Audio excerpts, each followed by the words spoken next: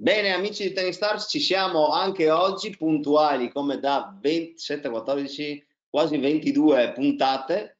E, ehm, come vedete sotto fondo, sotto il, la, la, mia facciona, vedete l'ospite di oggi che condivideremo facendo un ponte di applicazioni come ho già fatto con Paolo Canè e ancora con un'altra persona. E, ehm, siamo qui, come sempre avevo detto alle 18, eh, ringrazio sempre i soliti aficionados che ormai ci sono, come dicevo anche agli ospiti, abbiamo quelle 30-40 persone che si stanno seguendo praticamente tutte le puntate dall'inizio. Spiego anche un pochettino cos'è questo progetto di Sottoretta, così lo sente anche Flora, e nel frattempo vi ho già svelato il nome, ma anche se sono sicuro che voi la conoscete già.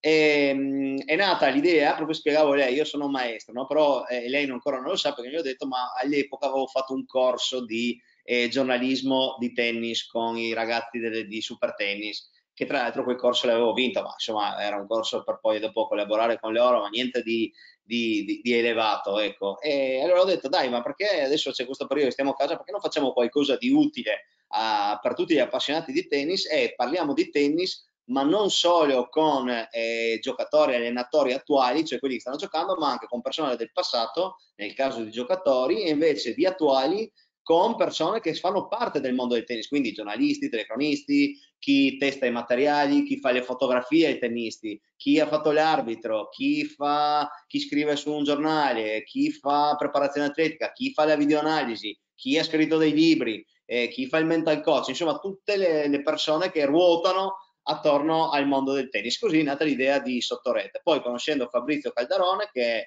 il vicepresidente della Onlus Tennis for Africa, abbiamo detto dai, perché non condividiamo anche questa cosa del Tennis for Africa, di aiutare i ragazzini in Africa con eh, qualche soldino, ma anche con del materiale eh, usato, quindi racchette, palline, eccetera, e da là mi è venuta l'idea, dai, faccio un libro di, queste, di questo periodo, di tutte queste interviste, scriverò un libro, si chiamerà Zero Quarantena e parte del ricavato lo doneremo ai ragazzi giù in Africa.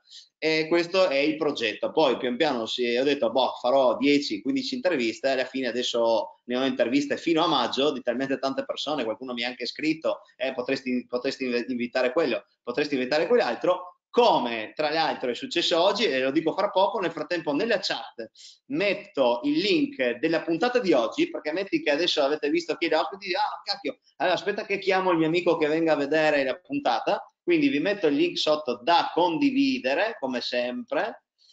Ok ve lo scrivo proprio in diretta. Eh, ok lo vedete qua sotto per chi sta usando ovviamente l'applicazione. Vi metto le coordinate di Tennis for Africa, che è quello che faccio sempre, vediamo se le trovo da qualche parte, qui, ok, eccolo qua, con il link anche della Onlus, così le avete direttamente, anche se so già che voi le, le, le avrete già eh, viste, salvate e anche usate, e prima dicevo, eh, qualcuno mi ha detto, ah ma sai che ha una bella storia, potresti raccontarla, e uno di questi è Patricia Rimondeghi che mi fa ma perché non chiami lei che secondo me ha una storia veramente bella anche di vita da raccontare? Io eh, la conoscevo di nome ovviamente come tenista sono andato un po' a leggermi e ho detto sì assolutamente la chiamo. E quindi signori e signori ladies and gentlemen come dicono gli americani abbiamo ospite con noi oggi Flora Perfetti. Grazie Flora per essere con noi. Grazie a voi buonasera a tutti. Ok. Allora Dimmi, dimmi. Parlo io, parli te. No, no, vai, vai. Volevo, prima di iniziare, volevo ringraziare appunto Pat che mi ha dato appunto questa opportunità per raccontarmi e volevo ringraziare lui. Grazie Pat. Eh, sì, veramente, eh, Pat poi mi ha dato anche il numero e dopo mi ha dato un, un, altro suggerimento di intervistare un'altra persona che all'inizio era un po' incasinata con vari problemi, ma oggi l'ho sentita e lo intervisterò, penso non la prossima settimana, ma fra due, perché come ho detto ho parecchie persone da intervistare, e che è Danilo Pizzorno, che è il numero uno delle videoanalisi, anzi sicuramente qui in Italia. Quindi ce lo avremo e, e, sono veramente felice anche perché lui ha fatto un libro con Federico Candidi, che l'avevo intervistato un paio di giorni fa, e gli ho detto guarda proprio lui mi piacerebbe intervistare e difatti ce l'ho fatta. Grazie Pat. Allora Flora io direi eh, se sei d'accordo di iniziare con raccontare un po' la tua storia, quindi da, da, quando, da bambina, quando ti è nata questa passione per il tennis, che percorso hai fatto e poi quando è stato quel momento in cui hai detto ma guarda che questa cosa qua la farò di mestiere, cioè che farò il tennista professionista. Vai, ti lascio anche la telecamera. Ok. Allora, eh, il mio approccio con il tennis è iniziato all'età di nove anni. Eh, giocavo contro questo muro di, di, un magazzino e stavo ore e ore a colpire la palla, mi piaceva veramente tantissimo. Al che eh, i miei genitori, che anche loro oh, il sabato e la domenica andavano a giocare, facevano i doppiettini, decisero di iscrivermi alla scuola tennis presso CIA Faenza. E, ehm, e così iniziò il mio percorso tennistico eh, dove a livello eh, diciamo juniores eh, non, è stato un gran, cioè non vincevo tanto. Eh, praticamente lì conobbi il maestro La Salle Errani che mi prese sotto le proprie vesti e mi, mi aiutò, mi diciamo, eh, orientò verso questo sport.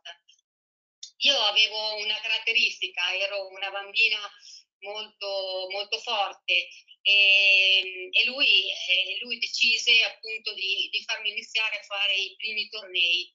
E, all'età di 12 anni ho giocato il mio primo torneo importante, cioè la Lambertendi, eh, però non, non, andò molto bene perché eh, mi ricordo questo particolare, eh, andai in campo, ero molto nervosa, ero una bambina abbastanza nervosa, molto, molto agitata, volevo spaccare la palla eh, volevo vincere contro un avversario, volevo, insomma, eh, non riuscivo bene a gestire la partita e quindi eh, diciamo che ero molto, molto, molto nervosa. E lui mi aiutò tantissimo eh, fino all'età di 16 anni, dove a 16 anni iniziai ad avere il primo diciamo, risultato importante. Vinsi il campionato italiano under 16 a squadre Mm, io giocavo allora per il CA Faenza e vincemmo questo campionato importante e da lì sono iniziate le prime, le prime domande, ma forse eh, posso fare la tennista, forse eh, ho qualche dote. Ehm, all'età di 16-17 anni vicino a me c'era praticamente una persona che... Eh, eh, mi faceva da preparatrice atletica e anche lei mi spingeva e mi diceva che eh, forse qualche carta nel giocarmi, eh, la, la, la, insomma, eh, per diventare gioca- una giocatrice di tennis ce l'avevo. Ma ehm, diciamo che ehm, eh, sono, ehm, cioè, il mio il mio trascorso è stato abbastanza lento. Eh, I primi risultati sono venuti a, 20 anni che ho iniziato a vincere i primi 10.000 dollari, i primi 25.000 dollari, i tornei praticamente ITF. Eh, giocavo prettamente vicino a casa, eh, non ero tanto per andare fuori, fuori, fuori all'estero, ero solo tornei vicino a casa. E il punto è che giocavo sia tornei open che tornei ITF e a livello eh, open i tornei li vincevo tutti e all'età di 20 anni ho vinto appunto come dicevo i primi tornei dove ti davano la classifica internazionale. Um, il mio trampolino proprio di lancio eh, quando mi sono proprio accorta che forse potevo fare veramente la tennista è stato agli internazionali di Roma Nazionale di Roma, eh, dove praticamente mi ritrovavo con una classifica 280 del mondo VTA. Eh, questi punti li avevo, vi, li avevo, presi facendo appunto questi tornei da 25 mila dollari che ne facevo, ce n'erano tantissimi in passato vicino a casa, eh, non, non, andavo neanche all'estero e questi tornei mi, han, mi hanno dato la possibilità di avere questa classifica 280. Anche ho fatto questa esperienza e mi sembra che sia stata nel 92 91-92, andai a Roma a fare le qualificazioni. Entrai in qualificazioni e vinsi la prima partita e perdetti eh, la seconda con Gloria Pissichini, che fra l'altro Gloria Pissichini era la mia compagna di doppio.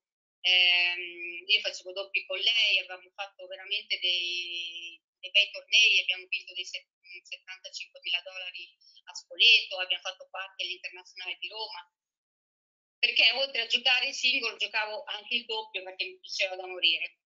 E come dicevo, a Roma oh, feci questo, eh, questa, questo esploit battendo, oh, no scusate, mi sono persa un pezzo, perdetti eh, il secondo turno delle qualificazioni con la Pisticchini e andai a casa. Io pensavo di aver perso e quindi eh, che non potevo, allora non sapevo neanche che cosa eh, fosse l'happy loser. Io andai a casa eh, convinta di aver fatto il mio torneo, mi telefonò eh, Raimondo Riccipitti che ringrazio ancora tutt'oggi e mi disse ma guarda Flora perché sei andata a casa? Dovevi rimanere perché c'è la possibilità di firmare eh, allora io via via via ritorno a Roma in macchina, firmo e fortunatamente entrai al posto della Carpiati perché allora eh, la Carpiati quell'anno si, si ritirò e entrai io. Insomma, primo turno per farla breve perché sennò la facciamo lunga, eh, vinsi contro Barbara Rittner. Barbara Rittner adesso credo che sia la capitana del FedCup della Germania e allora era 22 del mondo, vinsi 6-2-6-2. Mi arrivò un mondo addosso che io non ero preparata a tutta questa cosa, eh, insomma, eh, conferenza stampa, eh, questi giornali, eh, giornalisti che mi facevano un sacco di domande, io ero eh, veramente persa, non, non, ero pronta per affrontare una roba del genere.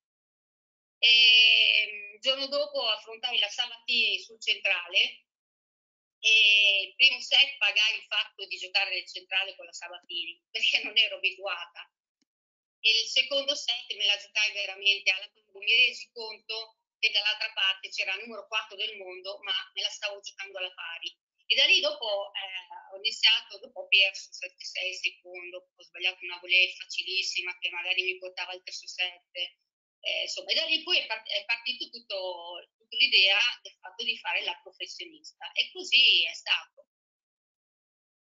Ok, eh, bella storia, bella excursus. Nel frattempo io mi sono segnato già delle cose perché così ti faccio un paio di domande, anche se ce n'è già una anche di Marcello che ti farò adesso al più breve. Ma mi, è, mi ha, tra virgolette, colpito, cioè colpito, mi ha, ho segnato il fatto di, eh, di quando, da quando sei partita, no? da bambina, e, mi è venuto in mente un po' il, il libro anche di Andrea Agassi dove quando parla del papà che gli aveva costruito la, la macchina, il drago, no? la macchina sparapalline. Tu hai detto che, eh, che, che, giocavi tanto contro il muro, no? siccome che so che adesso tu anche insegni, no? quanto è fondamentale tuttora ancora il muro e se è usato magari tu lo consigli o perché vedo, non vedo tantissimo muro ultimamente. Ma il muro, la cosa del muro è che la palla ti arriva veloce, eh, ti arriva subito, quindi devi essere pronta, devi essere reattiva, prepararti. E quindi quella è stata una cosa molto, può essere anche utile. L'unica cosa è che eh, adesso sì, potrei consigliare il muro anche adesso, bisogna però stare attenti ad essere veloci per impattare la palla, si rischia di colpire la palla un pochino dietro, infatti ai suoi tempi mi ricordo, eh, io colpendo così tanto la palla la colpivo un pochino dietro e quindi tecnicamente diciamo che ero sempre un po' in ritardo col diritto. Quindi il muro va bene per rimanere in movimento con le gambe, per essere pronti a ricevere la palla. E lo consiglio anche adesso, anche so, alle mie bimbe delle volte gli faccio fare degli esercizi eh, con, la, con la racchetta, con la per riuscire a tenere bene il polso fermo e provare a esercitarsi sulla, sulla volée. Quello può essere molto, molto utile. Ehm, Sì, eh, poi tra l'altro in questo, in questo, momento, in questo periodo di, di, quarantena a casa, chi ha un muro lo usi perché sicuramente ha, è, è, il compagno ideale e poi non so se hai visto c'era una, una challenge che ha lanciato Federer di, dei palleggi vicino al muro con, con la racchetta, no? quindi e questo eh, almeno potrebbe essere un divertimento. E, ehm, mh, ti faccio una domanda perché nel frattempo che raccontavi la tua storia ti faccio anche una domanda di, di Marcello perché è inerente. E lui dice, a prescindere dai risultati che hai ottenuto tardi, ma nei primi corsi, quando ero bambina, quindi diciamo fino ai 10 anni, eh, si intuiva che avevi qualche, qualche, marcia in più rispetto agli altri o eri diciamo nella norma? Sai che si vede se uno magari ha il tempo giusto, come si pone, se è coordinato o no, oppure ti sei strutturata dopo? Ma eh, secondo me si intuiva, il, il, maestro aveva visto più che altro il mio fisico, oh, che ero già una bella eh, bambina forte, eh, ti dico in particolare, io facevo la verticale sulle mani a dieci anni, ovviamente palleggiando sempre contro il muro eh, avevo già un buon timing sulla palla, quindi sì, diciamo di sì, il mio problema era più un problema eh, emotivo perché eh, la palla la, la colpivo, l'ho sempre colpita bene anche quando avevo dieci anni, quindi secondo me il maestro se ne è accorto subito. Ok, quindi era anche, eh, cioè tu hai detto questa cosa delle verticali, come a, a, a segnalare che la, la, capacità coordinativa c'era, insomma, c'avevi queste, sì, queste, sì, sì, sì, avevo, avevo molto, molto time sulla palla, eh, avevo molto, molto, molta energia, molta, molta, molta energia.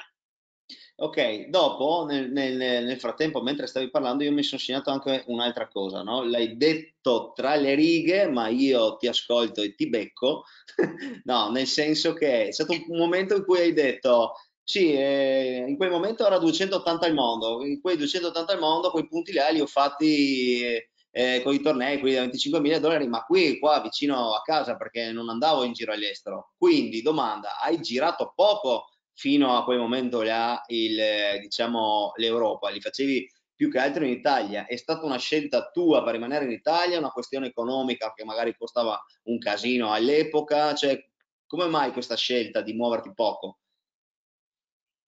Un po' eh, la scelta è dovuta anche al fatto che eh, i soldi non ce n'erano tanti.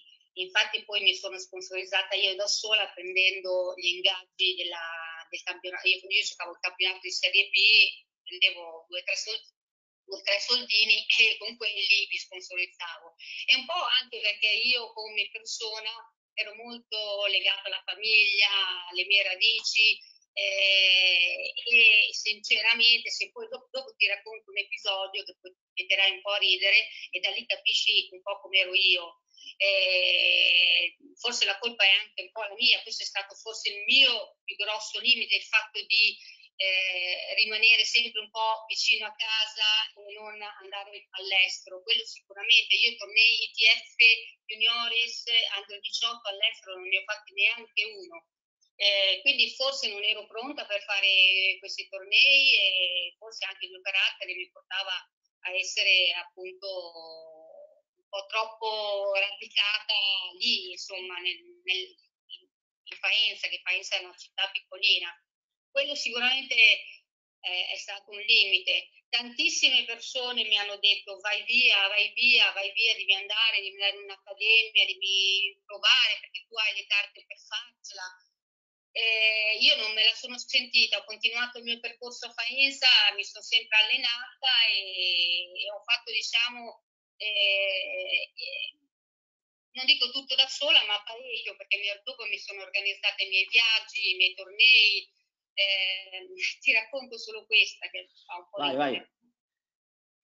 Eh, non mi ricordo l'anno, però arrivai a 120-128, forse nel 93, non mi ricordo, forse avevo 23-24 anni. Insomma, entro nel tabellone di Australia Open, quindi voglio dire, esperienza bellissima, vai a giocare gli Australia Open, vai a giocare un grande slam, io ho voglia di partire, di prendere l'aereo da sola per farmi 22-24 ore di aereo, ne avevo voglia zero. E allora cosa è successo? È successo che ho fatto di tutto per non partire e quindi ho fatto finta di non fare il visto e all'ultimo minuto vado in aeroporto, non avevo il visto, sono partita. il mio allenatore è quello che non mi ha detto, mi ha detto tutti i colori, ma cosa stai facendo? Ma questa opportunità, sei dentro il torneo del Grande Slam, devi andare. Quindi per dirti quanto poco avevo voglia di andare via. Eh, le, dopo andando avanti, io ho fatto due anni eh, che sono stata, che ho giocato VTA, ho giocato, sono andata tre volte in Australia, eh, quindi dopo ci sono andata quell'anno, poi l'anno, gli anni dopo ci sono andata per tre anni di seguito. Eh, quindi dopo, man mano che crescevo, mi rendevo conto che, eh, che quel passo lì di andare di, a fare quella vita lì la dovevo fare per, per migliorarmi, per andare avanti, dovevo continuare. Ovvio che ero sempre da sola, il problema era anche quello. Eh, avevo l'allenatore a casa, ma giravo da sola, prendevo la mia borsa e giravo da sola. Sì. E sono riuscita a fare il terzo turno, mi ricordo anche agli US Open, sì. eh, sempre da sola, o da sola o, o con un'amica. Ehm, poi inglese parlavo, ma parlavo il minimo indispensabile, eh, già quello era un altro limite grosso che avevo. Sì. Però nonostante tutto sono arrivata a 54, mi sono ritrovata a 54 del mondo, ho detto cavolo sono 54 e io ci credevo. E quell'anno però, l'anno che sono diventata, che ho preso i punti per andare a 54 del mondo, mi sono anche fatta male e lì un altro errore madornale, non ho bloccato la classifica. Sai, adesso ci sono eh, regolamenti praticamente c'hai la possibilità di fermare la classifica per sei mesi mm-hmm. per riprenderti eh, fisicamente per poi ritornare in gara. Invece io via via via avevo, avevo, questa fretta di ritornare perché volevo giocare internazionale di Roma, Roland Garros, i tornei più importanti e lì ho fatto diciamo una gran cavolata perché non ero, non ero pronta, avevo paura e quell'anno è andato via così, per questo errore. Mm-hmm. Eh, dico, eh, ho avuto questa, questa, questa cosa, purtroppo non ho avuto le persone vicine, poi sono arrivata troppo tardi, la federazione mi ha visto solamente quando ero 100, 100 del mondo, prima non mi ha mai considerato, insomma, perché? Mm. Perché oramai ero, avevo già 23 anni, loro guardavano le, le giovani, una volta guardavano le giovani, quelle quelle da 22 in su erano già vecchie e quindi aiuto da parte della federazione non, non, ne ho avuto tanto. Non ne ho avuto tanto. Eh, eh, bella questa storia che hai raccontato, cioè delle, che magari ti è mancata l'aiuto, ma quello che mh, mi sono soffermato nel frattempo a pensare nel frattempo che parlavi, che si è parlato un po' anche nelle, nelle interviste precedenti che abbiamo fatto in questi giorni, il fatto di eh, l'importanza di avere uno staff che ti aiuti a, eh, a programmare la stagione. Eh, secondo te questo poteva fare la differenza nel tuo caso? Assolutamente sì, assolutamente sì. Eh, c'è stato un momento che c'era una persona che mi voleva aiutare economicamente, eh, poi però si è tirato indietro perché c'era sempre il discorso che oramai avevo 27 anni e quindi si, sono, si è tirato indietro. E, ehm, volevo raccontare anche questa cosa che certo, vai. Con, insomma, con l'andare degli anni eh, è rimasto de- dentro di me. Eh, all'epoca eh, spesso mi, ehm, mi, incontravo con Silvia Farina no? e lei era allenata un argentino che si, chiamava, si chiama Lerna. Lerna. E lui mi vide, mi vide perché eh, incontrai appunto in un torneo, mi sembra a Budapest, adesso non ricordo esattamente, e vinsi io, lei era 40, io ero 60, vinsi io 6-1, 6-2.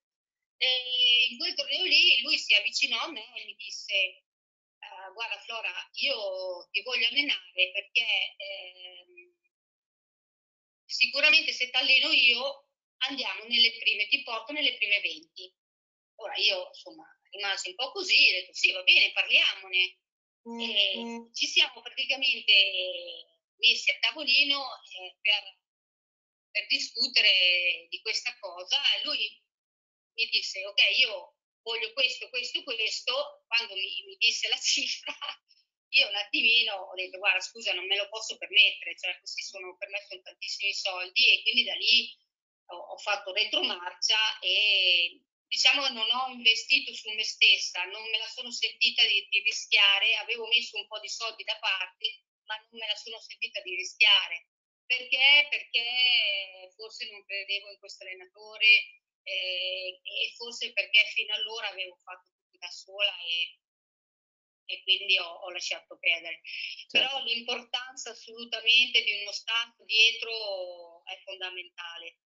E adesso i ragazzi, i giocatori, insomma, sono molto avvantaggiati confronto a noi. So, so. Eh, sì, assolutamente importante. Sono molto avvantaggiati, eh, anche se Luca mi, mi, fa una, cioè non è una domanda, ma una riflessione, eh, siccome si parlava anche questo negli altri giorni, eh, però quando sei intorno al 300 del mondo, eh, anche adesso, ok, c'è tanta disponibilità di avere dello staff, ma in parallelo anche uno staff costa, quindi qua, quanto si può, a, a, da quando si può avere uno staff eh, che giri con te. E sai, e sai, perché dico giri con te? Perché nel frattempo che parlavi mi è, è venuta in mente l'intervista eh, che ho fatto a Alessandra Cecchini. È una cosa che vi accomuna e che mi è rimasta impressa proprio come, come, proprio come vocabolo è solitudine. Anche lei è andata in America, ha fatto il, il giro dell'America ed era da sola.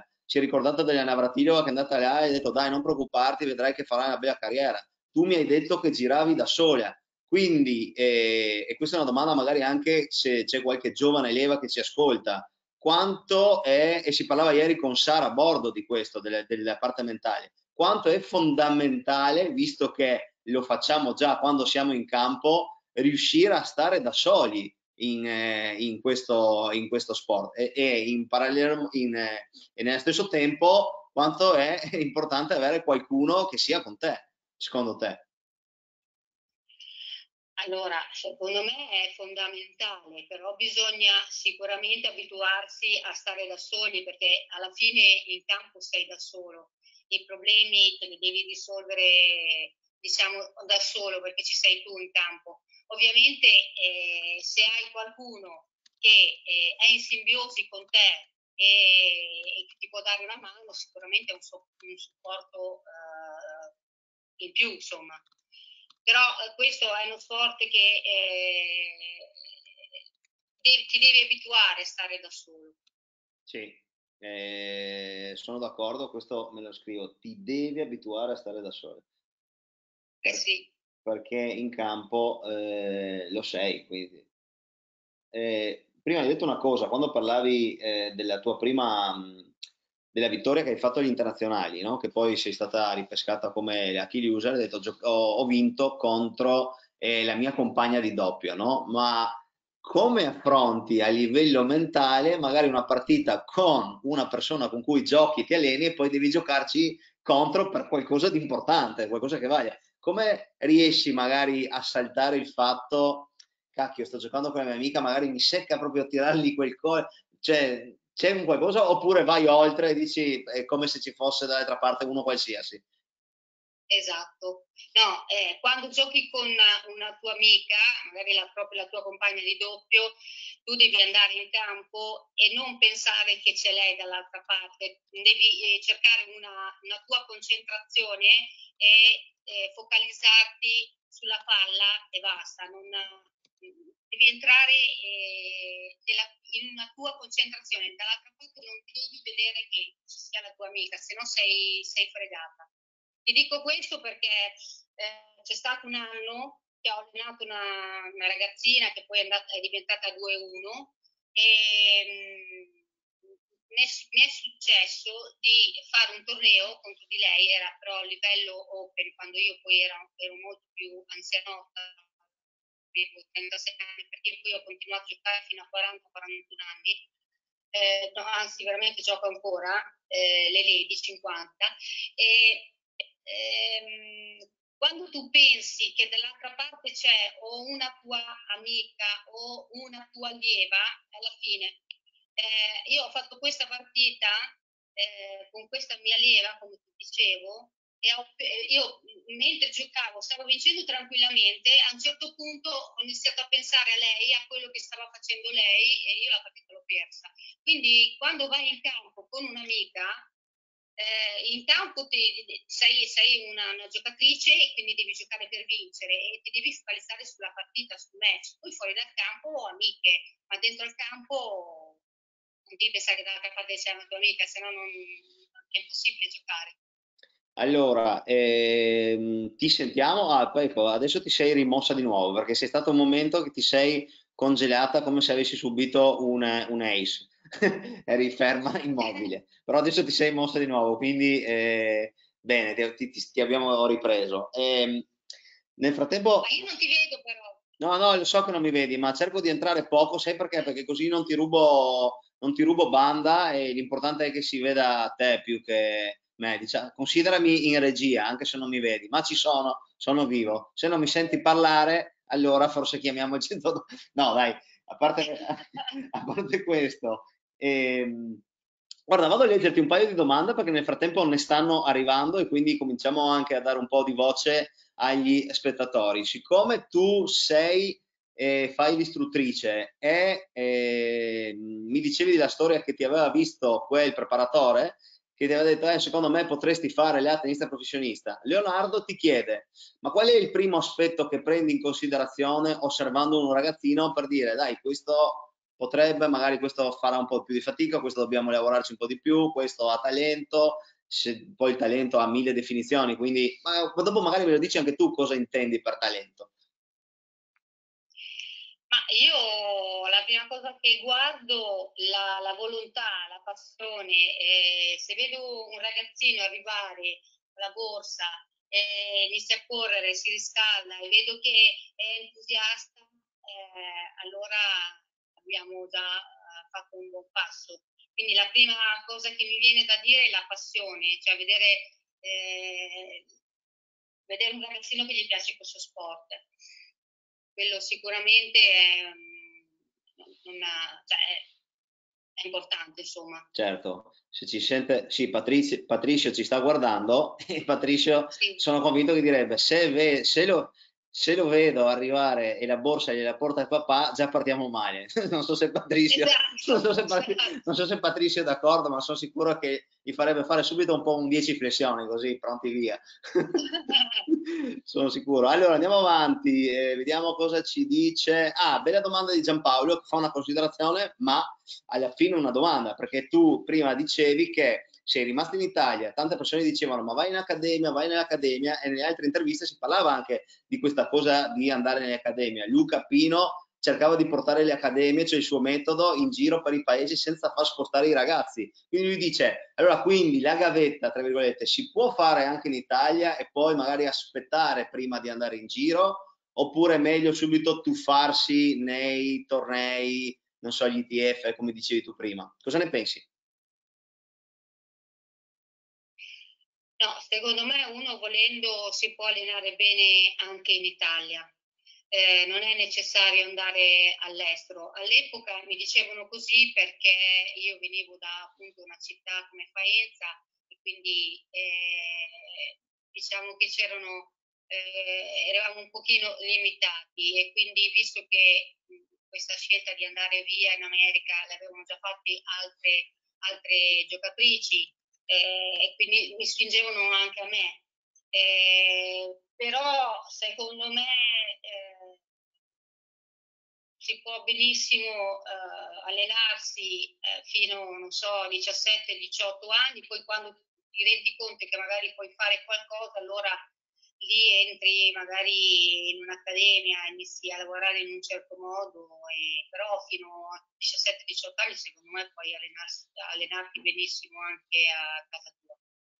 Sì, perché poi tra l'altro c'è sempre, cioè non sempre, è una mia una considerazione che faccio io, c'è sempre la voglia di, di, di avere fretta, no? Cioè uno a 16 anni deve essere campione del mondo, altrimenti non può fare niente. Non mi ricordo se proprio Patricio faceva questo esempio o non mi ricordo chi, sul fatto che mi sembra anche a, a, lo stesso Tony a Nadal, eh, quando era andato a fare un torneo junior, gli aveva fatto leggere i nomi di, di chi aveva vinto e ha detto che di questi chi sono diventati famosi? Nessuno. Quindi non è che se, se vinci un torneo junior poi sei, devi, diventerai fenomeno e, e, vale anche ovviamente il contrario. No? Quindi eh, questa cosa della fretta, eh, che hai detto tu, uno può allenarsi in Italia tranquillamente anche fino a 18 anni, magari eh, non c'è o non ci dovrebbe essere, non lo so, è una mia considerazione. Oh, allora, andiamo a vedere qualche altra domanda. Oh, ok, ce ne sono due di Fabio. Eh, prima dicevi che eh, tu è, la federazione ha cominciato a vederti intorno a quando eri 100 al mondo e che tendeva a guardare le giovani, no? E secondo te la federazione sta facendo abbastanza per rilanciare l'immagine del tennis sia maschile che femminile? Beh, adesso ultimamente sì, eh, aiutano un pochino di più rispetto al passato. Adesso ti tengono lì anche, ti tengono in federazione, tu puoi andare a allenarti se sei bravo in federazione fino, fino a 24 anni. Io ho visto Federico Gaio che insomma, ha sfruttato questa cosa, è stata, è stata a Tirrenia ad allenarsi, quindi eh, sì, adesso cercano un attimino di, di venirti più incontro, anche se hai un'età eh, che va oltre i 21 anni. Una volta ti tenevano lì fino a 18, poi se eri bravo bene, se non eri bravo ciao, ti salutavano. Anche, e quindi questa, questa, cosa l'hanno capita, l'errore della federazione capi, l'hanno capita e stanno eh, ogni anno migliorando per dare una mano agli italiani soprattutto. Anche a livello economico aiutano molto di più adesso. Assolutamente sì, sì, sì, sì, sì. Adesso so che ci sono dei bonus se sei bravino eh, sei, non so, under 18, sei nei primi 300, hai, hai dei riconoscimenti, adesso non so esattamente la regola, ma credo che Però, eh, se sei bravino una mano te la diano. ci sono delle agevolazioni, sì, sì. E, ehm, e beh, è anche giusto che lo facciano visto che la federazione deve promuovere e, e, e, poi di riflesso lavora tutto il, eh, il comparto, no? se abbiamo più atleti abbiamo... Però a proposito di questo, eh, come la vedi tu la, il fatto che eh, se, solamente, se, se, se, è solamente una questione, io, io la chiamo di, di maree, no? sai che ci sono le alte maree, le basse maree, no? che vanno, scende, sale, e il fatto che adesso le donne fanno un po' più fatica rispetto agli uomini. Gli uomini ne abbiamo parecchi ad alto livello, le donne, passato il periodo della Flavia, della, della Roberta Vinci, ehm, si è un po' affievolito il movimento femminile, il maschile è un po' tornato su. È solo una questione di maree? Sì, sì, può essere, può essere, perché quando giocavo io eravamo in 10, forse mi sto sbagliando, prime 10 nelle prime 100? Sì, sa di sì. Adesso sì, dopo Flavia e dopo la Schiavone, dopo la Roberta c'è stato un attimino un buco, però sono ottimista perché le ragazze eh, stanno lavorando e quindi hanno solo bisogno di fare più esperienza e come ti dicevo ognuno ha il suo percorso e può essere che negli anni futuri eh, vedremo risalire anche le donne. Sì, un po, come, un po' come nel calcio è successo alla Spagna, che hanno lavorato, lavorato, lavorato sui giovani e poi hanno, sono esplosi e hanno fatto il boom di mondiali ed europei, no? però tanti anni hanno lavorato a, diciamo, di sottobanco per far crescere i giovani e poi hanno il calcio spagnolo è esploso. Allora, ma vediamo se c'è qualche domanda. Sì. Allora, beh, a parte Maurizio che si segnala, sì, giustamente, ma non solo lui, ma anche l'altro, eh, adesso, adesso te lo chiediamo. Allora, siccome ho parlato con Paolo Canè, che è eh, di Bologna, poi giustamente Maurizio mi insegna anche Gaudenzi e di Faenza, tu sei, insomma l'area lì, eh, oltre, cioè, è, è, è buona, è, è, buona. Come mai secondo te eh, l'Emilia Romagna è una regione che comunque ne ha sfornati di campioni? C'è un motivo? È solamente un fatto eh, casuale, diciamo? No, non è, un, non è un fatto casuale. Credo che quando hai un esempio, un campione in casa, poi dopo eh, i ragazzini eh, eh, ci vanno dietro, no? Sono un esempio e quindi magari quello vuol dire tantissimo. Eh, credo, credo, che l'esempio sia la cosa fondamentale per poi far crescere dei, dei, dei campioni. E quindi a Faenza eh, dalla, da Raimondo Riccipitti a Gianluca Rinaldini alla Raffaella Recci, a, alla Sara Errani, che vabbè lei è di Mastrombarda, insomma sono tutti esempi, quindi secondo me ragazzino se hai un esempio eh, in casa è più stimolato a, ad avere un sogno e quindi secondo me l'esempio di avere un campione porta sì che poi li fai, li fai, li costruisci degli altri. È bella sta considerazione che hai fatto. Adesso mi è, venuta, mi è venuta la voglia di intervistare un, eh, ehm, un, biologo del tennis, ma non so se esista, uno che studia il DNA. No, perché hai detto una cosa interessante, nel senso eh, che poi non so, adesso entro in un campo scientifico che non è mio e sono assolutamente zero, però quello che hai detto tu, eh, io cerco di copiare il campione e magari eh, e ne nascono di più e nel frattempo magari la specie si adatta. Non so se esiste una cosa del genere, però sai, magari poi a son di sfornare campioni, un po' come succede, e io sono di Trieste, nella vicina Slovenia, no? tanti, tanti ragazzini seguono le orme e ormai, anche parlando con Luca Pino che gira tanto il periodo del posto, l'est Europa, dice sì, non è tanto una questione di mentalità, è proprio una questione di genetica che si sono strutturati in una certa maniera, sono di far sport, di, di seguire i vari campioni, eh, perché alla fine dei paesi degli ex Jugoslavia a livello di squadre, ma anche di sport singoli, eh, ricordiamo anche Ivan Iseric per esempio, eh, hanno sempre dato un,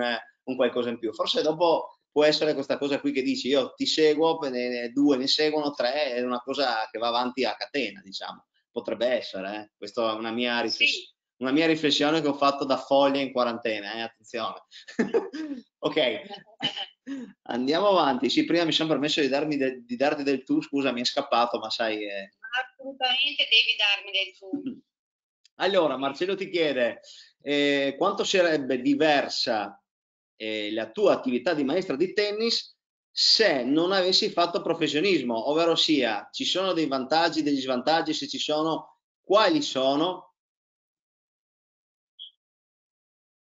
Cioè, se fosse, non ho capito la domanda. Cioè, eh, la tua carriera da, da tennista professionista eh, ti ha fatto avere degli, dei vantaggi oppure degli svantaggi nel fatto che adesso insegni? Dei, dei, dei vantaggi. Il vantaggio può essere che eh, posso trasmettere quello che ho fatto io a un ragazzino, ma eh, se io non eh, avessi fatto la professionista, eh, avrei fatto la scuola maestri come tutti i ragazzi che vogliono intraprendere quella strada e sarei diventata maestra, quindi non è che mi ha cambiato più di tanto il fatto che sono stata una giocatrice Ok, nel frattempo sto... Non so se ho risposto alla domanda, non so se la risposta eh, che lui voleva eh, sapere, o, insomma, sì. ho risposto... Non so se magari lui, adesso vediamo se mi, se mi diciamo se... Mm, ecco, vediamo che forse ce l'ha eh, spiegata un po' meglio. Eh, no, ma vediamo se, se me la spiega un po' meglio. Sì, magari forse lui intendeva nel fatto, eh, o te la giro io la domanda, anzi te la giro io, è necessario essere stato un giocatore di alto livello per fare il coach di alto livello?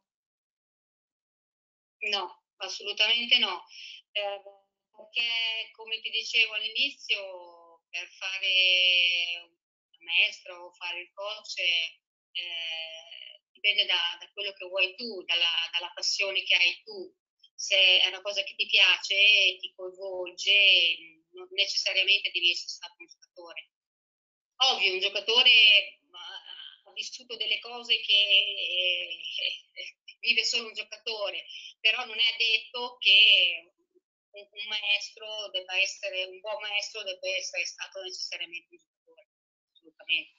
Ok, il famoso, il famoso non devi essere stato un, un, cavallo per essere un buon fantino di Arrigo Sacchi, che diceva esatto. questa famosa frase. E una domanda che ti faccio è, è quando sei entrato in campo con le Sabatini, no? Cioè, prima, sì. prima di andare a giocare con le Sabatini, cosa, cosa fai? Nel senso, un professionista sta da solo, parla con qualcuno, si guarda la tv, eh, cerca di concentrarsi. Avevi magari delle, delle, cose particolari che facevi sempre eh, prima di una partita, qualsiasi, oppure in quel caso lì eh, hai fatto qualcosa di diverso? Non lo so, è una domanda che mi è venuta una curiosità adesso. Ma eh, solitamente quando hai un incontro, perché ho giocato in notturna, quindi serale alle otto e mezza di sera, quindi sei tutta la giornata e quindi ti organizzi la mattina ti alleni un'oretta, eh, pranzo, ritorni in albergo, fai una pernichella, ti rilassi eh, e poi aspetti, aspetti il momento di entrare in campo. Ti organizzi con il mangiare che due ore, due ore e mezza prima eh, mangi e poi mezz'ora prima ti riscaldi, fai il tuo riscaldamento pre, pre partita. Mi ricordo ancora cosa ho mangiato quella sera. Un pezzo di grana così ed è il prosciutto. sì, bello sta roba perché ti ricordo allora, hai due, cioè, a parte il pubblico, quando sei entrata nel centrale e la volea sbagliata a mezza altezza, poi in terza fase c'è il grana col prosciutto, come ricordo. Questa me la segno. Eh sì, perché... perché alle otto e mezza non rabbio un po', di solito sulle otto mangi, allora non sapevo cosa dovevo mangiare, cosa non mangio, cosa, non, cosa, cosa, cosa può andare bene. Mi ricordo in particolare del grana, pezzo di grana incredibile e un po' di prosciutto e basta. E, però sì, è stata una, una gran bella esperienza giocare nel centrale al Fuoritalco. Poi la gente all'inizio, come ti dicevo, ho pagato il fatto di giocare nel campo centrale, entri dentro questo campo che è enorme. Eh, primo set l'ho perso nettamente 6-1, il secondo me la sono giocata alla pari e, e avevo il, il, pubblico dalla mia parte, quindi tutta la gente che urlava, e quindi da brivido veramente è stata, me lo ricordo bene. Quindi eh, noi, eh, noi, parlavamo in, anche nelle puntate precedenti della parte mentale e poi ti farò una domanda anche su questo, no? perché magari all'epoca le figure del mental coach non c'erano ancora, no? quindi i giocatori dovevano essere mental coach di se stessi, secondo me. Ma quindi quando sei in campo in queste situazioni qua, perché tu dici, sai, uno deve giocare e quando, gioca dei, quando sei in campo devi isolarti e restare sul pezzo. Però tante volte, magari in questa fase qui, cioè in questo caso tuo, isolarsi forse sarebbe stato controproducente perché invece volevi sentire il pubblico che era con te magari ti ha dato una, una spinta in più sentire le, le persone che ti favano per te piuttosto che isolarsi. Cosa ne pensi? No, no, sì, assolutamente. Avere il pubblico dalla tua parte ti aiuta a un'esagerazione, ti, dà, ti alza l'adrenalina, cioè, vivi, vivi, quasi in trance. Cioè, il pubblico ha la sua, la sua importanza. Eh.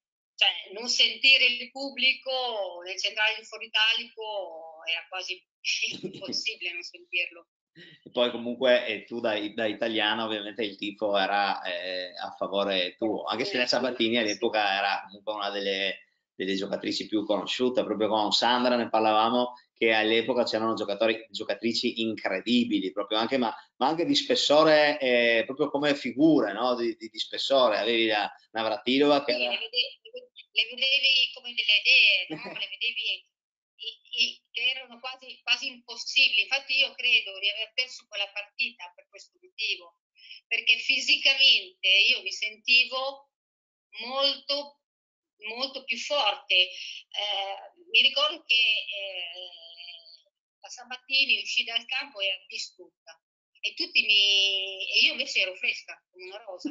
Quindi io avevo fatto un allenamento, mi ero allenata veramente tanto e come ti dicevo ero forte fisicamente e mi sono resa conto che se andavo al terzo set e se dall'altra parte non c'era la Sabatini, cioè nella mia testa eh, non pensavo alla Sabatini, io ho perso perché dall'altra parte c'era la, la, la numero 4 del mondo perché se, non, se, io non sapevo che era numero 4 del mondo avrei vinto e quindi questo è, è un fattore psicologico che al giorno d'oggi ci lavori come mental coach, okay? allora dovevi un attimino arrangiarti. Capito. Quindi se non eri proprio molto forte e non avevi una forte personalità, le, le prime non le battevi. Cioè, eh, diciamo che eh, il fatto che fossero così alte, le vedevi così come delle eh, irraggiungibili, quelli ti influenzava anche un pochino in campo, quindi non eri, riuscivi a, a, a esprimere il tuo tennis come volevi, uh-huh. perché eri influenzata. Questo è stato anche un limite mio, mi sono resa conto dopo, anche con la Linda, con la Linda Davenport, che era numero uno del mondo, ho giocato tre volte, no, scusa, eh, due volte, eh, tutte e due le volte eh, in, all'Australia Open. E anche lì la differenza era che eh, dall'altra parte c'era una professionista che praticamente giocava come doveva giocare e io non avevo una persona che in quel momento mi doveva dire guarda che là c'è lei, devi giocare così con lei. Invece questa cosa qui io eh, giocavo, mettevo il mio pilota automatico e giocavo così. Uh-huh. Non sbagliavo mai, ero una giocatrice, una contrattaccante, durissima da, fare, da farmi, farmi il punto. Eh, correvo tantissimo, giocavo un po' come eh, Ferrer, no? Mm-hmm. Eh, gran fisico, sei, insomma. E quindi eh, adesso mi sono persa nel discorso, il fatto di, ehm, di, vedere queste figure così in alto e irraggiungibili, eh, a volte nel mio periodo ti condizionavano un po'. Sì, sì. Quindi tante volte perdevi per quel motivo, non perché dall'altra parte magari c'era una più forte di te. Io mi sono resa conto di questa cosa e ovviamente per fare il passaggio dovevo avere sicuramente persone di fianco a me che mi aiutavano a capire che potevo, potevo fare di più, potevo batterle, però insomma va bene così. Insomma, è proprio una, una, questione proprio di, di, presenza fisica, nel senso che quando entrano in campo, quando giochi con qualcuno di forte, lo vedi enorme, no? un po' tipo i cartoni animati, no? che arriva il mostro da sconfiggere ed è sempre più grande. È sempre più grande di chi lo deve confrontare. Sei già meno 10, sei già sotto, parti già in svantaggio perché loro hanno un nome e insomma, sì, sì, sì. sono dei personaggi, quindi questa cosa qui la, la patisci un po' in campo quindi ci devi lavorare, ci devi lavorare. Credo che sia importante il mental coach. Eh sì, sono, sono d'accordo. Eh, Giampaolo fa una domanda su quello che stavi dicendo. No? Adesso io entravo, facevo il mio gioco e via. Nel senso, non avevi per caso un piano B, non è che magari ti, ti, ti accorgevi di, ok, qua giocando come gioco io non, non ne vengo fuori, cambio? No, tu facevi il tuo No, no, va bene. Io fondamentalmente entravo in campo e facevo il mio gioco. Poi se vedevo che facendo quel gioco lì non vincevo, qualcosa cambiava. Ah, okay, mi ecco. vedeva in automatico, magari iniziavo a fare eh, delle smorzate, andavo a rete, cambiavo sicuramente. No, no, non è che andavo in campo perché eh. cioè, continuavo, cioè, se mi accorgevo che stavo perdendo, certo, facevo certo. qualcosa per, per incasinare la partita. Eh, insomma. Eh, esatto e anche l'avversario. Allora Maurizio ti chiede il tuo colpo migliore e quello meno sicuro. Il mio colpo sicuro o quello meno sicuro? No, allora ti chiede con una grandissima finezza, secondo me, il colpo migliore e dopo invece di scrivere il colpo peggiore ha scritto in maniera perfettamente linguistica il colpo meno sicuro. Quindi il colpo migliore qual è e quello meno sicuro. Allora, il colpo migliore era il rovescio, eh, quello meno sicuro è il servizio, perché il servizio è un colpo eh, emotivo. Eh. Se non sei tranquillo, la prima cosa che va a toccare è il servizio, almeno nelle donne. Quindi il rovescio sicuramente era il mio colpo migliore, la smorzata, e, e il colpo un, po', un pochino così eh, è il servizio, sicuramente. Guarda, hai detto una cosa secondo me fighissima che valeva, che vale il prezzo del biglietto perché hai detto eh, che poi sì, che poi il prezzo del biglietto non c'è perché sono gratuite queste interviste, poi tra l'altro io le pubblico tutto sul mio canale, quindi dopo se vuoi puoi andarti a vedere anche le altre, ma anche le prossime. Ma hai detto sta cosa fighissima che non l'avevo ancora sentita, cioè che il servizio è un colpo emotivo. Figa, questa eh cosa sì. qua. Sì. Tanta roba Eh perché sì. hai ti trema la mano, il braccino, il match point, la palla break e stai servendo e questa cosa del, del servizio con colpo emotivo è proprio bella. Vado a vedere altre domande. Eh, durante la tua carriera da professionista andavi a leggere libri di tennis fisici mentali o seguivi solamente le, le direttive del tuo allenatore? No, no, no, io ho letto veramente pochi libri di tennis, eh, quindi io ascoltavo il mio allenatore e andavo, andavo avanti così. Ok, quindi seguivi la, la linea in partita. In part- la linea del mio allenatore, sì. Ok. Allora, Marcello ci fa una domanda tecnica, quindi ti fa una domanda da allenatrice. Sei concorda nel dire che nel tennis il colpo più naturale, innato è il rovescio? Mentre il colpo da costruire è il dritto.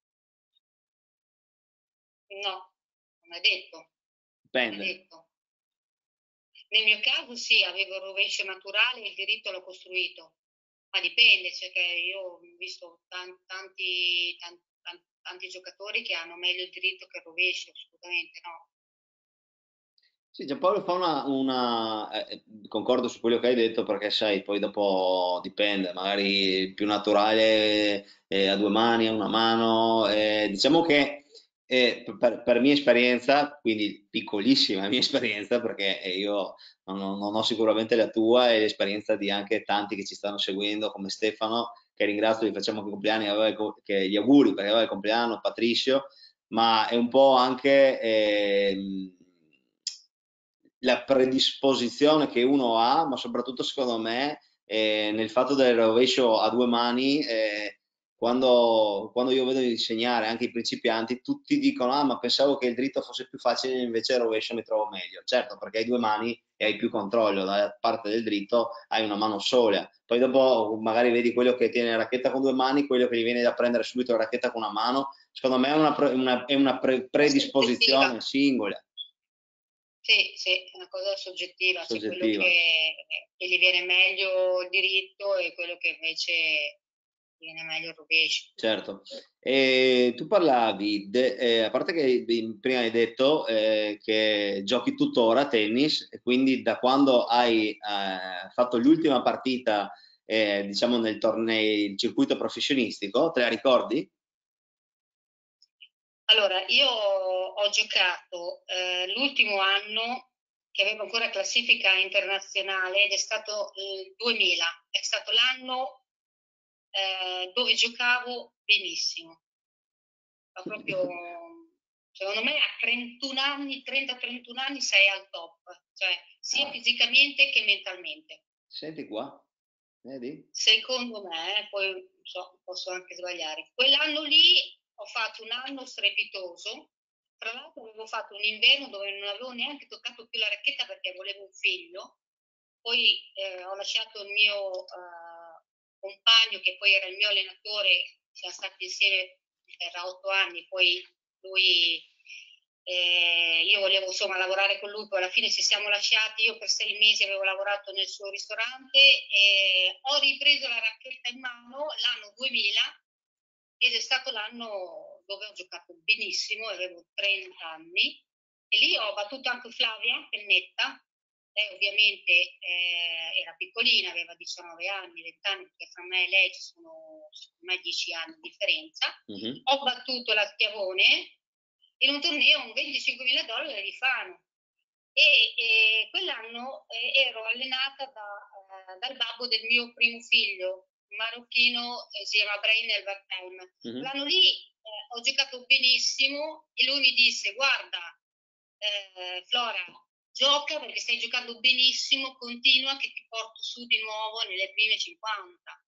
E io lì no. praticamente mi sono fermata perché gli ho detto no basta, io voglio un bambino e dopo è subentrata la voglia di, di, della famiglia, di avere un figlio, di avere certo. queste cose da donna, insomma. Certo, e, certo, sì, sì. E quindi, queste cioè, cose da donna. Voglio dire, io fino a, a 30, anche 35, se stai bene fisicamente puoi giocare tranquillamente. Puoi, puoi giocare. Anche a alti livelli, eh? Sì, sì.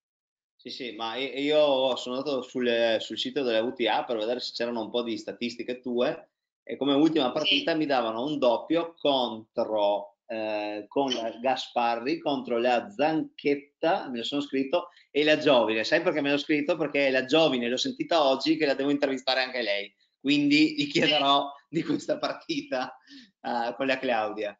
E, um, una domanda che ti volevo... Nel 2000. 2000. Ah, nel 2000. Sì, sì, nel 2000, nel 2000. Assolutamente sì. E una domanda che ti volevo fare era, poi io ho letto anche un po' la tua storia, ma me l'hanno anche raccontata, e poi nella tua vita hai dovuto superare una partita più importante di giocare a tennis. Ma senza andare troppo nel, nel dettaglio, eh, quello che ti chiedo è, nell'affrontare quella situazione lì, quella, quella cosa che ti è successa a livello fisico, quella malattia, quanto importante è stato eh, il tennis? Cioè l'approccio mentale, non so, il fatto magari di fare qualche sacrificio, di non mollare, di andare a prendere anche quella palla che sai che dopo verrà smessata facilmente. Quanto è stato importante per te questo? Ma è importantissimo. Io sono sempre stata una persona che non ho mai mollato, non ho mai mollato una palla, non ho mai mollato una partita, ho sempre dato il 100%, uh, sono sempre uscita dal campo con il calzino rosso e quindi quando ho affrontato quella malattia lì lo sport e il carattere nuovamente sono venuti fuori, e, per fortuna, perché insomma quella è stata diciamo la partita più, più grande che ho dovuto affrontare. Guarda, ti ringrazio perché nel, per questa cosa qui, perché io quando sento queste storie di persone che escono da, mi fa veramente sempre un po' di sensazione, soprattutto nel periodo di, di adesso che tante pers persone ci stanno lasciando per una, una cosa, non solo ci, stanno, ci ha affermato una cosa che è in, invisibile, e che se uno me lo diceva a dicembre, sai che in aprile starai a casa per un video, ma sei fuori nel 2020 e invece siamo qui in casa, ma hai detto una cosa bellissima e che, e che molto probabilmente la farò come titolo del blog, perché poi io insieme ad Erika che mi dà una mano e scriviamo un po' eh, riassunto di queste interviste e credo che il titolo sarà eh, eh, Esco con il calzino rosso perché hai detto questa cosa che io uscivo con il calzino rosso e mi è veramente piaciuta tanto. Allora, vediamo se c'è ancora qualche domanda e poi ti lascio andare, così andiamo tutti quanti a cena. Anzi, no, dopo dovrai farmi la domanda per l'ospite di domani. L'ospite di domani che è, non so se lo conosci, Gianfranco Menga, uno che, fa, uno che organizzava viaggi, eh, stage di tennis in giro per l'Italia, ma che ha lavorato anche con Gaudenzi, con Camporese, che tra l'altro Camporese è anche romagnolo. Sì. Quindi siamo ancora lì, torniamo sempre lì. Eh, la Romagna, sfornato dei campioni. Eh sì, eh sì. Allora, eh, Stella Maimone ti chiede quanto è importante eh, la preparazione atletica e ti dico all'epoca tua ed adesso, cosa è anche cambiato? Eh, allora, l'epoca mia era molto importante, ma ancora più importante adesso. Adesso il tennis è cambiato, è molto, molto, molto più fisico rispetto a una volta e è quasi più importante l'atletica che, che il tennis. Io darei più importanza all'atletica che, che al tennis, quindi è fondamentale. Ma senti te che noi è importante eh, hai detto l'atletica che il tennis, quindi ehm, facendo diciamo una, una, dammi una percentuale fra queste tre aree atletica, tecnico-tattica e mentale, adesso? Allora, mentale direi il 60%. sì. Eh, tecnica, tattica il 20%. E quell'altro cosa hai detto la prima? Atletica, ti resta un, ti resta un altro eh, 20. Eh, no, allora no. Cambia. cambio, cambio. No, l'atletica è, è molto importante, eh, però molto più importante è anche la, la, la, testa, che poi fisico va con la testa, se stai bene fisicamente stai bene anche con la testa, quindi vanno tutti e due molto eh, insieme, quindi io farei, eh, farei sempre 60, 60 e 30 e 10. 60, 30, 10, o se no, solo per oggi... Aspetta, se no, la metto al primo posto assolutamente. Se no, solo per oggi in offerta qui a Sottoretti ti do la possibilità di, di arrivare a 120. così, così dai più. Dai, eh, allora vedo che le domande sono finite così, ma forse qualcuna me ne è sfuggita e chiedo scusa perché devo seguire un po' di qua e di là. E, e faccio un po' fatica. Eh, Maurizio, ti fai i complimenti. Io direi, eh, innanzitutto ti ringrazio tantissimo per la tua disponibilità. Come ogni intervista io, io, mi arricchisco sempre di qualche chicca che alla fine in quel libro che farò saranno tutte riportate perché secondo me quella dei calzini, oggi ne ho quella dei calzini, dei calzini, esco sempre con i calzini rossi e il servizio è un colpo emozionale, che penso che non ho mai sentita. È veramente figa.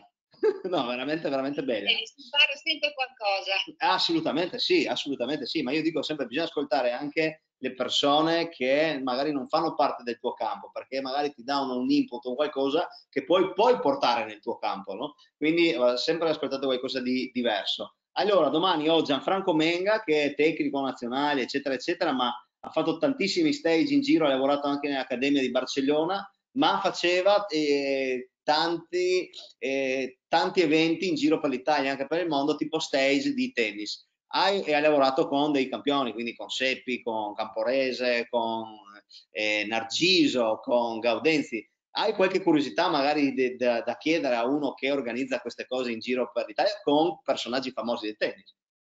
Ha fatto anche con me, ma non ero io il famoso. c'è la domanda di riserva? No, oppure anche se vuoi qualcosa del, del tennis o come maestro, anche lui è maestro, magari non so, qualcosa di, di tecnico. Adesso non mi viene in mente. Ah, eh, potrei chiedergli quante, quanto, quanto, quante ore eh, bisogna allenarsi col servizio quanto è importante il servizio. Adesso, vabbè, il servizio è, è importantissimo, però quanto, quanto tempo mh, dedica al lavoro del servizio. Ok, glielo chiedo, glielo chiedo la domanda la, la, la, espanderò anche se sapeva quando parlava con quei giocatori durante gli stage, se gli raccontava quanto tempo si allenavano a, al servizio, oltre a quanto lo allena lui. Oh, allora, io direi che eh, ah, ecco, ultimissima di Renzo, che è carina come domanda, e poi andiamo a mangiare. Nel corso degli anni il tennis femminile e quello maschile si sono evoluti in uguale maniera o c'è stato un salto, diciamo, di, di evoluzione? O sono andati paralleli nell'evoluzione? Quindi, oltre alle racchette ai materiali, anche come gioco, come velocità di gioco? Ma eh, sì, eh, come velocità di gioco adesso eh, col fatto che abbiamo delle racchette dove puoi spingere un po' di più la palla, sicuramente si è evoluto di, di parecchio, la palla va più forte, la tecnica dei movimenti sono cambiati e quindi sì, assolutamente sì, si è evoluto. Proprio perché la palla va, va veloce e abbiamo racchette più veloci. Sì, quindi sia maschi che femmine, sì, sia maschi che femmine si sono evoluti diciamo di pari passo, tutti, sì. tutti e due hanno accelerato. Sì, direi anche la preparazione fisica. Ok, bene. Flora, io ti ringrazio, ti lascio andare a mangiare o a fare da mangiare. Cosa, abbiamo già pronta la cena? È già pronta la cena? No, no, devo, devo andare a cucinare io. Ok, cosa, cosa si mangia questa sera? Ah, non lo so, bistecchina sicuramente con insalata. Bene, proprio da atleta. Un, po', un po' di piadina e un po' di piadina con lo squacquerone. Hai mai sentito squacquerone?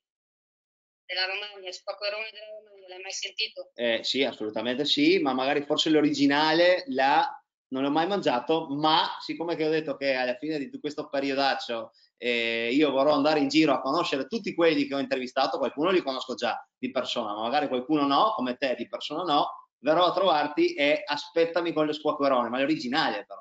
Assolutamente, assolutamente sì, ok, ti aspetterò. Va bene, grazie mille Flora, eh, un abbraccio virtuale.